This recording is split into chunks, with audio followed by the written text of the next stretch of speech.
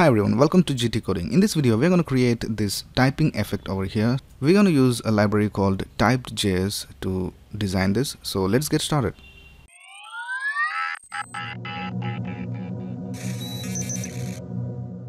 So just go to Google and uh, type typed.js over here and uh, you'll get this link of the GitHub repository. So just go to that link. Now this is the repository and uh, if you want you can also go over here to the website and see the live demos. And uh, you can also install it with npm and uh, you can also use a cdn and there are a lot of options over here. We're just gonna download this. So just click on clone or download over here and uh, click on download zip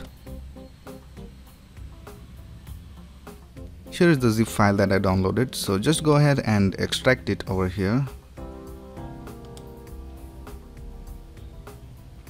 Now go inside the folder and uh, search for the lib directory and uh, here you can find the typed min.js so just copy this and paste it over here.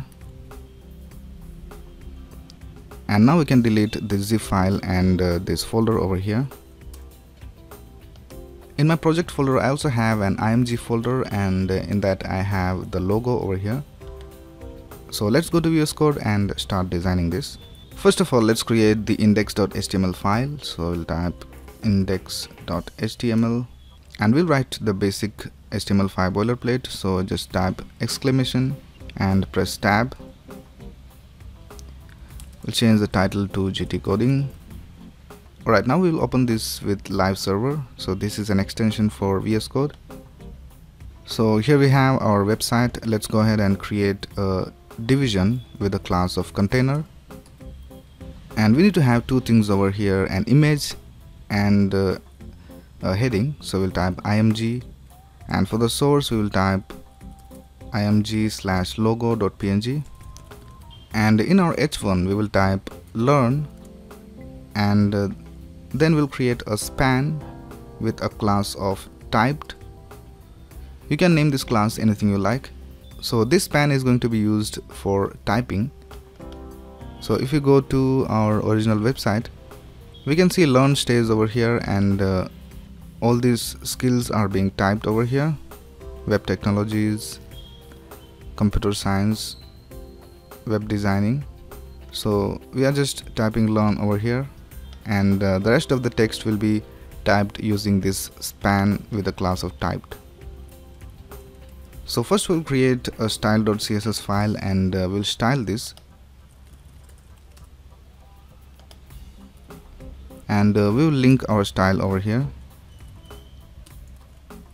First of all we'll type some global styling so margin 0 padding 0 for the container image we will give a width of 60 pixels and a margin of 50 pixels for top and bottom and auto for left and right.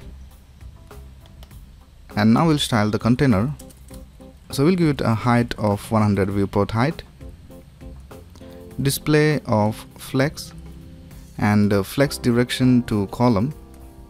Justify content to the center and we'll give a background color of ECEBEB font family to Raleway thin. If you don't have this font installed on your system you won't be able to use this font. So you have to first download this font or else you can also use uh, Google Fonts directly. I have a video on using Google Fonts. So now we'll type font size and we'll set the size to 12 pixels and we'll set the text transform to uppercase. And letter spacing of uh, 8 pixels. We'll also give it a padding of 0.32 pixels. And the color of the text to 424242 now we'll style the typed class. So we'll type color. And we'll set the color to fdb04c and the background color to black.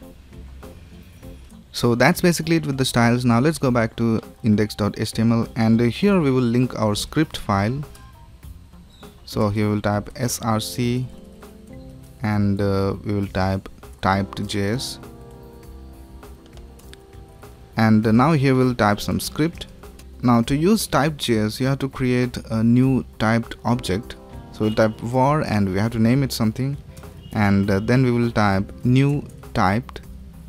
Now in the parenthesis you have to first of all uh, type the name of the class which you want to use for typed.js so here we will type dot typed. If you have an id then you can type hash over here. So we already have some text displayed over here. Now for the next argument you have to provide an object with uh, different properties so first of all we'll type strings. And this is where we type all the text that we want to be displayed. So I will type each of them as different strings. So I will type web designing. Now I'll just type all the other strings.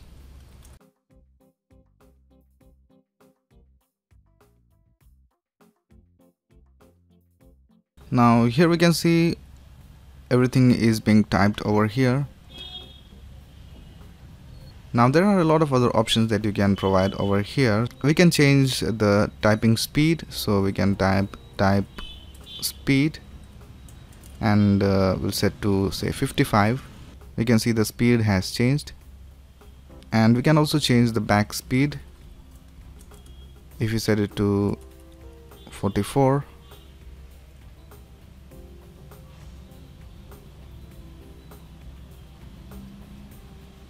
so let's just change this back to 0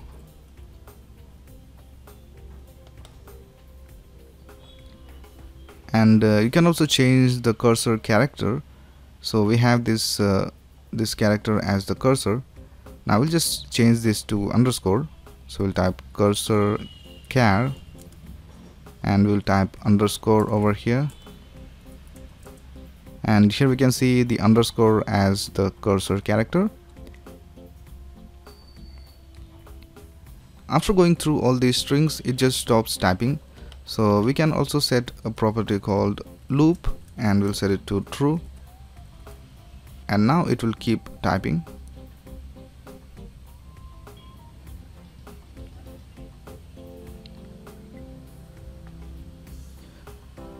so that's basically how you create a typing effect in your website. So that's all for this video. If you have any doubts you can ask in the comments below and uh, if you like this video, please click on the like button and subscribe to the channel to get the latest video updates. Thanks a lot for watching. Have a nice day.